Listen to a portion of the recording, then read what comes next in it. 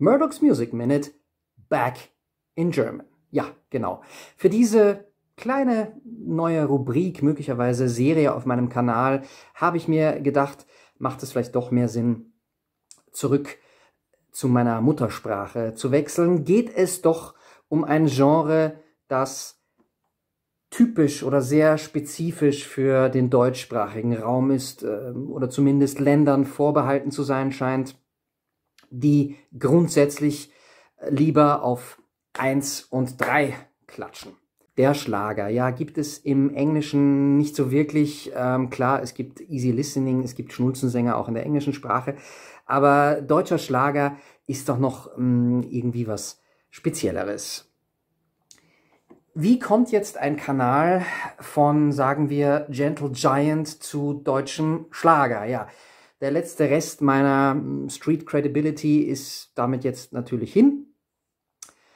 Ähm, vor einigen Monaten fand in meiner Wahlheimatstadt zum letzten Mal der zärtliche Schlagerabend in äh, einem kleinen kultigen Club statt mit dem legendären DJ Elk als Zeremonienmeister und Musikaufleger. Ich selbst war bei einer solchen Veranstaltung selbstverständlich nicht zugegen, aber das Ganze ließ mich doch zurückdenken an die Tage, als ich äh, noch als kleiner Steppke in Deutschland tatsächlich leidenschaftlich gerne Schlager gehört habe. Ähm, sowohl in der Plattensammlung meiner Großmutter als auch im Radio. Damals äh, bevorzugt auf WDR 4 war damals noch ein fast reiner Schlager- und Easy Listening Sender.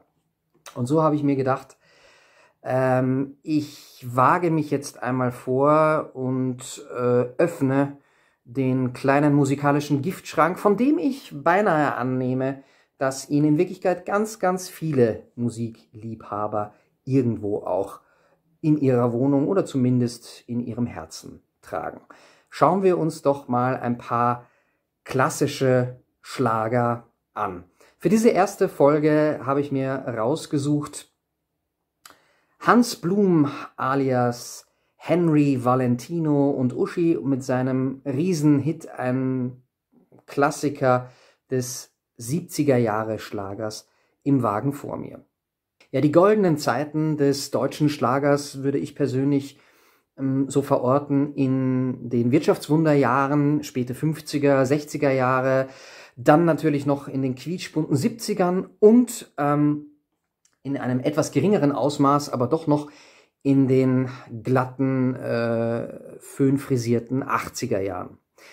Schlager gab es ähm, selbstverständlich nicht nur in Westdeutschland, sondern auch aus meiner Sicht hinter der Mauer in der DDR. Da ähm, passierte musikalisch auch ganz, ganz viel anderes, äh, wirklich Spannendes, von dem ich allerdings ähm, als kleiner Junge überhaupt keine Ahnung hatte.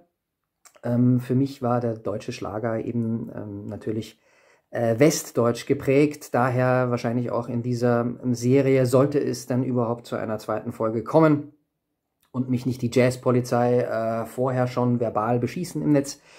Ähm, eben sehr stark geprägt äh, durch äh, Schlagerhits äh, aus, was man früher eben Westdeutschland genannt hat teilweise auch Österreich und die Schweiz. Ja, liebe Fans der seriösen Musik, seid stark, seid tapfer mit mir. Begeben wir uns doch mal in die Welt des Schlagers. Da darf man auch schon mal ähm, aus der Vinylschüssel äh, ein bisschen was Süßes nehmen. Und natürlich beim Schlager ist es besonders wichtig, alles ein bisschen durch die rosarote Brille zu betrachten. Henry Valentino, wer ist jetzt dieser Typ? Tiefe Reibeisenstimme, Schnurrbart, der übrigens äh, angeklebt war.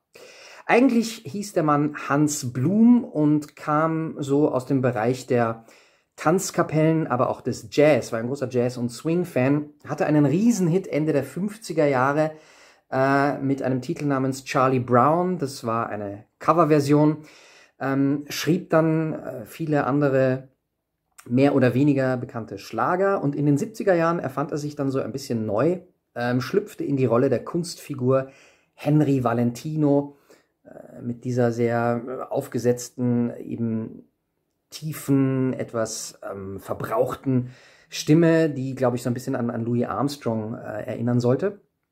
Hatte da ähm, zunächst einmal einen großen Hit äh, mit dem Song Ich hab dein Knie gesehen, der war so ein bisschen auf ähm, 20er Jahre getrimmt.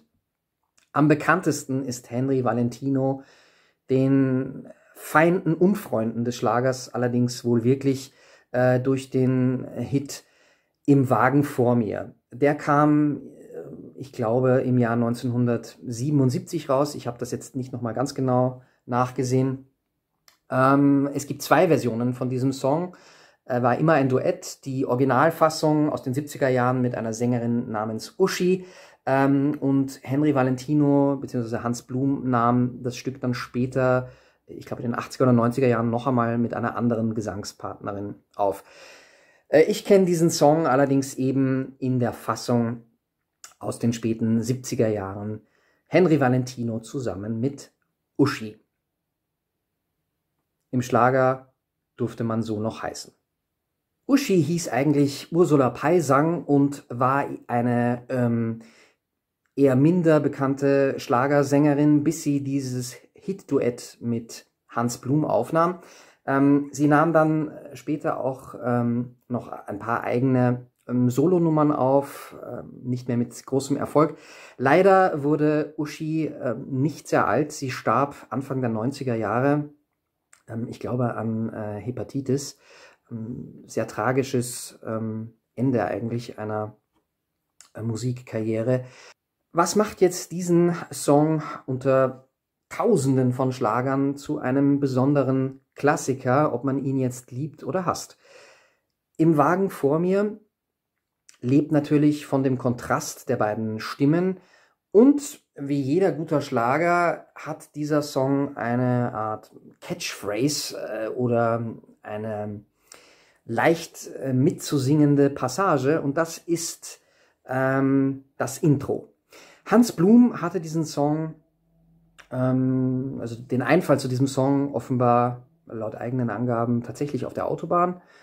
Man möchte nicht so genau wissen, ähm, was der gute Mann sonst noch so im, im Auto, wenn er alleine unterwegs war, ähm, für Gedanken hatte. Ähm, und hatte sich vorgenommen, er wollte ein ganz spezielles äh, Intro machen für diesen Schlagersong und hatte da wohl irgendwie sowas Swingiges mit Scatgesang im Kopf ähm, Skatgesang, man kennt es vielleicht, ähm, kommt aus dem Jazz, in dem man mit der Stimme perkussiv äh, sozusagen Instrumente nachahmt, äh, ohne jetzt ähm, sinnvollen Text dabei zu produzieren. Also wäre es nach Hans Blum gegangen, dann würde im Wagen vor mir ähm, oder hätte im Wagen vor mir eher begonnen in der Art wie dann kam allerdings seine Frau ins Spiel, die Stimme der Vernunft. Die ähm, hörte natürlich äh, Blums Kompositionsversuche an diesem Stück äh, und ließ ihn freundlich, aber doch bestimmt wissen, ne, mit dem Intro keine Chance, das wird kein Hit. Viel zu kompliziert kann sich kein Mensch merken. Blum also ging nochmal zurück in sein Kämmerlein, vergoss vielleicht einige Tränen der Frustration am Klavier und kam dann auf die simple wie geniale Einstiegsphrase, die wahrscheinlich jeder Mann und jede Frau von Schlagerpartys, goldenen Hochzeiten oder auch etwas angeheiterten ähm, Lokalrunden kennt. La -dam, la -dam, la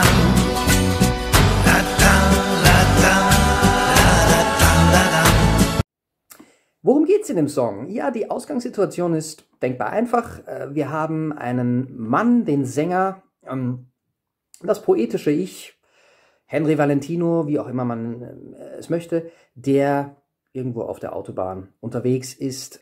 Er ähm, sieht im Wagen vor sich, ganz offensichtlich, zumindest von hinten betrachtet, eine hübsche junge Dame und kommt irgendwie so ein bisschen ins Sinieren und Schwelgen. Im Wagen vor mir fährt ein junges Mädchen. Sie fährt allein und sie scheint hübsch zu sein. Ich weiß nicht ihren Namen und ich kenne nicht ihr Ziel. Ich merke nur, sie fährt mit viel Gefühl. Nicht nur ist die äh, junge Dame attraktiv, es ist interessant, wie er das beurteilen möchte, weil wenn der Wagen vor ihm ist, kann er ja eigentlich nur äh, ein bisschen was von der Frisur von hinten sehen. Ähm, sie fährt seiner Meinung nach auch mit viel Gefühl. Das äh, war bemerkenswert in den 70er Jahren. Ähm, ähm, das galt es doch zu betonen aus männlicher Sicht, dass äh, auch Frauen mit Gefühl fahren können. Ähm, er fragt sich, ob sie denselben Radiosender hört wie er und ja, das Ganze ist so eine ähm, harmlose, ähm, leicht romantisierte ähm, Altherren-Träumerei. Dann aber wird der Song ähm, dadurch interessant, dass wir als Kontrast auch die Gedanken der jungen Fahrerin präsentiert bekommen, gesungen von Uschi, die das Ganze ähm, weniger nett findet. Ähm, sie bemerkt, dass dieser alte Knacker hinter ihr ähm, permanent eigentlich ähm, hinter ihr bleibt, sie nicht überholt und das kommt ihr dann auf Dauer etwas unheimlich vor. Was will der blöde Kerl da hinter mir nun? Ist sie nicht süß? Ich frag mich, warum überholt der nicht? So weiches Haar. Der hängt nun schon eine halbe Stunde ständig hinter mir. Nun dämmert's schon Den männlichen Part in diesem Song alles ganz harmlos. Sie entschließt sich irgendwann diesen möglicherweise Stalker loszuwerden, indem sie entgegen ähm, ihres eigentlichen Fahrziels äh, vorzeitig abbiegt. Also wahrscheinlich einen ungeplanten Umweg äh, nehmen muss, während Valentino latta, latta, träumend und glücklich einfach weiterfährt. Ende des Songs. Im Wagen vor mir ist textlich eben herausstechend unter dem 0815 Schlager, weil er eben diese beiden Sichtweisen und Perspektiven zulässt und ähm, tatsächlich durchspielt. Wir bleiben eben nicht, wie es vielleicht äh, in einem typischen Schlager äh, der Fall wäre, einfach im Wagen des männlichen Sängers, der sich dann äh, irgendwelchen romantisch bis schlüpfrigen Fantasien über diese junge Dame hingeben kann, ähm, sondern ähm, dem Textschreiber ist durchaus bewusst, dass aus der anderen Perspektive ähm, die Situation in gewisser Weise beklemmend wirken kann. Wahrscheinlich war das Ganze damals äh, doch eher humoristisch gedacht. Äh, ach je, äh, das arme junge Ding, ähm, wieso wird sie denn gleich nervös? Aus heutiger Sicht ähm, ist der Song, hat er einen dadurch irgendwie aber modernen Touch, weil er auf eine gewisse Problematik, äh, damals wahrscheinlich unabsichtlich oder überhaupt nicht so intendiert, aufmerksam macht. Tatsächlich wurde im Wagen vor mir dann auch äh, in manchen Kreisen eine Zeit lang, möglicherweise auch heute noch, stark kritisiert dafür, dass er eben so eine Altmännerfantasie ist und äh, äh, die eine möglicherweise sexuelle Belästigung oder zumindest eben ähm, ansatzweise Stalking verharmlost. Man darf natürlich den Kontext, in dem dieser Song veröffentlicht wurde, nicht vergessen. Es war eben das Jahr 1977. Auf der anderen Seite war es da mit ähm, der Emanzipation und Frauenbewegung doch auch schon ein bisschen äh, weiter gediehen man kann diesen Song durchaus äh, kritisch betrachten. Also der hat irgendwie so ein bisschen was mh, hm, schwitzig, äh, ja, altherrenhaftes an sich. Ähm, auf der anderen Seite eben steigt er dann aus dieser Rolle aus durch die Textpassagen, die die Frau singt. Ein klassischer Stalker ist ähm, Henry Valentino beziehungsweise das poetische Ich, das er hier in dem Song einnimmt, nicht. Ähm, heutzutage würden Stalker wahrscheinlich dann, ähm, also die, ein echter Stalker wäre wahrscheinlich mit abgebogen und äh, hätte die Dame tatsächlich noch ewig ähm, verfolgt.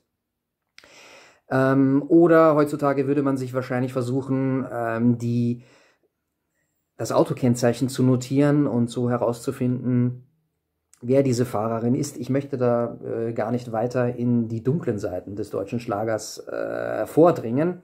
Aber natürlich äh, für moderne Hörer hat dieser Song einen gewissen ähm, bedrohlich düsteren Touch, wenn man den Text jetzt ähm, tatsächlich auf die Goldwaage legen möchte. Für mich als ähm, kleinen Jungen von vielleicht fünf Jahren äh, spielte das natürlich alles überhaupt keine Rolle. Äh, Im Wagen vor mir, wenn ich versuche, mich jetzt ähm, an meine kindlichen Ohren zu erinnern, stach für mich in erster Linie tatsächlich äh, durch die Stimme von Hans Blum alias Henry Valentino hervor. Ähm, ich hatte noch nie jemanden also dermaßen ähm, kehlig äh, und tief singen gehört, schon gar nicht im äh, sonst eigentlich eher in den höheren Registern stattfindenden deutschen Schlager.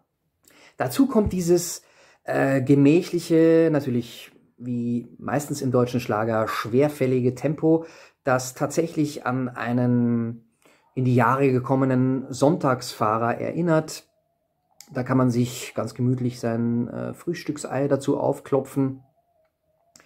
Also das ist so ein äh, deutscher Schlager, den ich jetzt ähm, vielleicht nicht äh, proaktiv selber auflegen würde, aber äh, wenn ich ihn höre, löst er doch eine gewisse Nostalgie aus.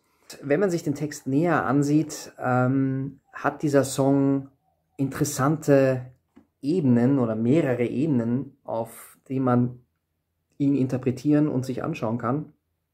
Und äh, das macht, finde ich ja, äh, gute Popmusik aus, wenn die Texte ähm, vielleicht etwas doppelbödig sind oder ähm, unterschiedliche Sichtweisen zulassen.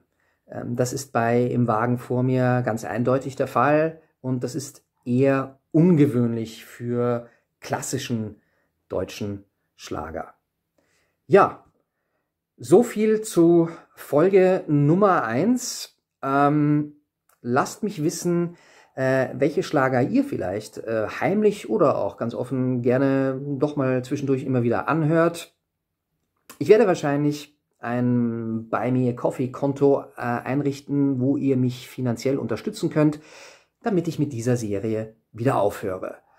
Bis dahin, Latta, Latta, Friede, Freude, Eierkuchen, bleibt entspannt bis zur Folge Nummer 2.